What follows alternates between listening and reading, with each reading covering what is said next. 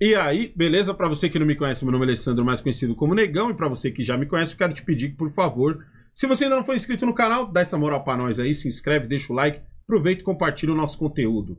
E aí, mo? Muito bem, Alessandro. Bora ver aqui uns dois vídeos Hum. de jornalistas da Globo News criticando o Lula por declarações que ele fez ao Moro. Você Hum. acredita nisso? Isso é possível? Eu achei que seria só daqui dois anos, tá ligado? Que a gente ia ver isso. Andréia Sadi e Eliane Catanhede. A Adriane Catanhede? Catanhede, acredita? 30 segundinhos parceiro, você dar uma ver. olhada no parça do canal que ajuda a gente a manter essa bagaça no ar e a gente poder dar risada desse povo. Muito bom. Se liga aí, ó. Fala pessoal, dessa vez eu estou aqui com o canal da Solzinha, o canal Sol Angel Music. Esse daqui é o canal que vai fazer você dormir melhor, que vai fazer você estudar melhor. E a Solzinha faz isso utilizando música celta, obviamente. Ela usa também sons da natureza, são músicas que vão te acalmar, que vão fazer você prestar atenção para você passar nesse bendito Enem aí. Peço para você que vem aqui no canal da Solzinha, faz um comentário, pois o seu comentário é importante para que ela possa fazer um conteúdo ainda melhor. Quer saber mais aí sobre o canal da Solzinha? Link no primeiro comentário e na descrição do vídeo, demorou? Muito que bem. E aí, muito Mo? que bem. Por favor, Alessandro, abra aí a matéria. Vamos lá, matéria. Ah, o título da matéria aqui da Revista Oeste é Contaminando o Governo, Hum. Instabilidade Emocional. Jornalistas da Globo News criticam Lula por declarações. Quem diria? Foram né? falas que Andréa Sadi e Eliane Catanhede falaram em programas diferentes. Vamos começar, Alessandro, com a Andréa Sadi, Dedé, porque a gente já olha aqui, ó. Comentaristas repudiam acusações sem provas contra Moro. A acusação sem prova do presidente Lula contra o senador Sérgio Moro assustou os jornalistas da Globo News. Eu quero saber se esse susto foi igual da, vamos lá. da Raquel Landi na CNN, né? Vamos ver aqui. O susto dela, no susto ela jogou pro fez toda a cronologia do tempo aqui para mostrar que isso já estava sendo apurado. Não tem a ver com. Com e não era sem, sobre o Moro, de forma específica. Para a gente lembrar, o promotor, o Lincoln Gakia, que até falou que ele recebe uma. Ah, tá parecendo uma egípcia com essa maquiagem, ó. Uhum. Puxadão aqui, pique Cleópatra, tá ligado? Cleópatra. uma ameaça de, eh, de morte por mês, enfim. Quer dizer, eu tô bem impressionada, Valdo, porque os agentes no entorno do Lula o tempo todo, eles estão atuando para tirar o caráter político das diferentes crises, seja na economia, seja na, na, na- na questão é, que é uma política eleitoral mesmo, né? Porque É. o Lula ele coloca o Moro como um adversário ele- eleitoral. É muito engraçado ver essa cara, né? Essa cara meio. É. Muda de assunto, por favor. E alça o Moro também, quando ele, ele dialoga com o Moro, é o presidente da República brigando para baixo, como ele está fazendo com o presidente do Banco Nossa, Central. Mano, Obrigada. tirou, orra, tirou o Moro agora, hein? É, O que vem de baixo não me atinge. Então, assim, o Lula, nesse espírito que o Trigueiro bem lembrou, que fez uma campanha toda, não, não tem revanchismo, aqui é só love, Lula paz e amor, Ministério do Namoro, coisa e tal. Olha, Valdo, eu vou te falar, é, tá me parecendo um hashtag vingativo.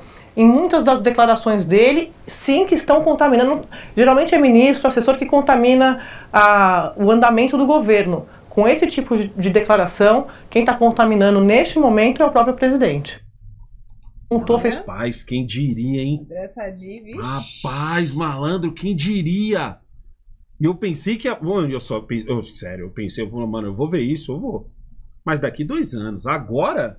Agora eu não vou ver isso, Cleide. Ninguém vai. Carinha de... Ninguém vai levar uma com o Lula agora. Agora o Lula vai nadar de Lula braçada. está brigando pra baixo. Caramba, Alçando o mano. Moro. Só faltou um que onde vem de baixo. O que vem de É um baixo não me reles, fala, um reles senador brigando com o presidente da República. Acho que E agora tem o da Catanhede aí, da Eliane Catanhede. Eliane Catanhede aqui. Catanhede. É o mesmo estúdio?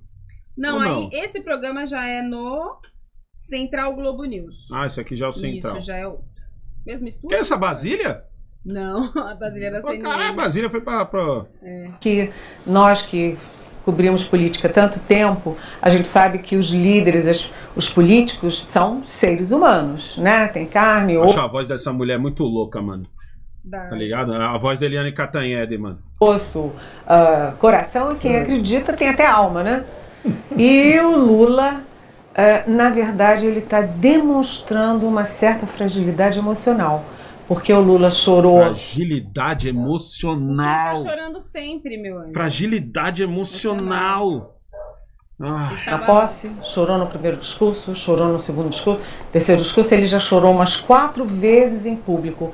Então, é um direito das pessoas chorarem, as pessoas, nós seres humanos, choramos, mas o Lula está demonstrando uma certa instabilidade emocional, juntando com a idade e juntando com tudo que ele passou, prisão. Eu acho que senti um certo machismo, hein? O homem não pode chorar, então? Que patriarcado é esse que a gente tá vivendo? Rapaz, homens têm sentimentos. Homens choram, entendeu? Homens se emocionam. Homens brincam com os cachorros. tem um entendeu? aspecto psicológico. O Lula, número 3, Lula do terceiro mandato, ele se sente no direito de falar o que ele quer, independentemente de alguém sugerir ou não. O Lula tá igual aquela, aquela tiazinha do Então, balneário. Tá ligado? Lula tá igual a tiazinha do balneário. Falou, mano, já cheguei numa certa idade que eu não seguro mais nada, não. Eu tô Ah, afim de falar, eu falo. Tá ligado? É isso, a explicação aí pra treta aí com o Moro é, Sabe o que é isso aqui? é Bolsonaro, Isso aqui, é, isso aqui é o seguinte, ó. É, Quando o então. Bolsonaro ia falar alguma coisa, nego já tava aqui, ó. Fala alguma coisa agora, vai. É. Encosta nesse cercadinho e dá bom dia pra você ver se eu não te dou uma cabongada agora. Vou lhe dar um cabongue agora. Agora não. Ah, ele está. O Lula está com uma fragilidade. de tudo emocional. com ele ao longo Ah, eu não. anos. Ah, ele está guardando rancor. Mas o Bolsonaro era o seguinte. Não, porque o Bolsonaro falou. Machista. Machista, machista de tudo. Não, ó, cabongada nele. Cabongue no Bolsonaro. Ai, ai, mas o Lula Cleide, eu não sei o que está acontecendo com ele, está fora de si. Ai, não sei, estão aconselhando e blá blá blá. Ai, ele falou uma. Ai, ah, o que ele falou ali, gente, não é assim e tal. Mas o Bolsonaro era aqui, ó. Quê? O que, que você tá falando aí, nego? Não entendi o que você falou. Fala de novo aí. Fala, que? Carlos Bolsonaro? Ô, Ema? Vai... Olha que eu te dou uma cabongada em você e na Ema. Tá ligado? É. Agora eu te pergunto, nego, vai longe isso? Vai longe. Seja sincero. Vai longe. Porque assim, começa assim. Aí daqui a pouco o nego vai falar assim, tá, mas vamos botar um comercial aí do, do, do- da vacinação aí no horário nobre, vamos colocar mais não sei o que de não sei aonde, não sei o que de não sei o que lá e pronto. Aí nego não vai falar mais nada. Aí sabe o que vai acontecer? Vai acontecer igual com o Tarcísio agora. Que o Tarcísio tá no Sheldon da- das emissoras. Ninguém fala do Tarcísio, ninguém- a não ser agora com a greve. Aí se fala mais dos caras querendo a greve do que o próprio Tarcísio tentando resolver a bendita da greve. Antes de finalizar, 30 segundinhos pra você dar uma olhada no parça do canal que ajuda a gente a manter essa bagaça aqui no ar. ó. Se liga nesse daí, que esse aí é da hora. ó.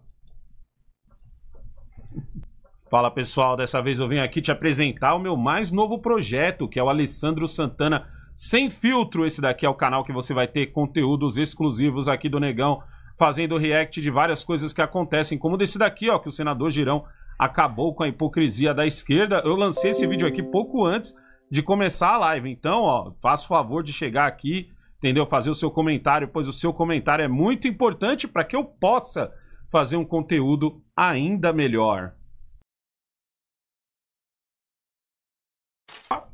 Eu tive que liberar espaço no computador, senão não ia terminar a pílula. Ele, do nada, ele começou a fazer um monte de coisa, tipo... Quer saber mais aí sobre o canal desse negro lindo? Link no primeiro comentário e na descrição do vídeo, demorou? É nóis. Deu, deu pra...